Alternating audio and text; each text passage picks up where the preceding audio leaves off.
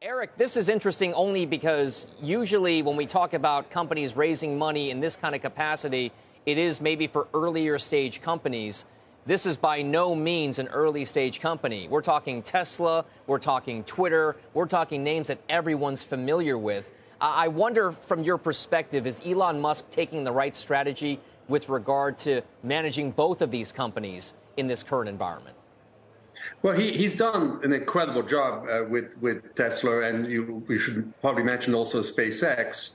Uh, but but his uh, ownership of Twitter so far has been completely chaotic, and surprisingly so. Uh, he he immediately fired more than half the staff. And by the way, it's surprising that the service is still up and running normally. Um, he's suspending people on, on a whim. He's reinstating them uh, on, on another whim.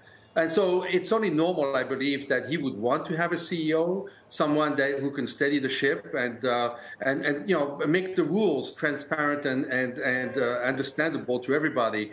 Uh, Twitter is incredibly important service. it, it is you know the main way that uh, that people disseminate news and information. It's it's a it's you know it has open discussions. It's the public square, and I really hope that uh, he can he can stabilize the, this this uh, this platform. You know, Eric, what's interesting about this whole dynamic is Elon Musk has seen success in his investment and his operational control of companies through just about every stage of, of development, from from early stage all the way to a, a mature company. You could argue like Tesla. So, what exactly is it in his mind do you feel that is perhaps keeping him tied to both of these in the way that he is, both Twitter and Tesla? Do you think it's time for him for him to focus on just one of them? And, and, and of course, that one should be Tesla, right? Right. Well, he's never he's never really focused on a single company. Uh, he he basically divides his time. He doesn't multitask. He divides his time. Uh, you know, a day for Tesla, a day for uh, SpaceX or the, the, the tunneling company or whatever. But but with Twitter, he has a different animal on his hands. It's a social network. Uh, he he. There's a lot of uh, there's there's a, there's lots of undercurrents, political undercurrents, other undercurrents.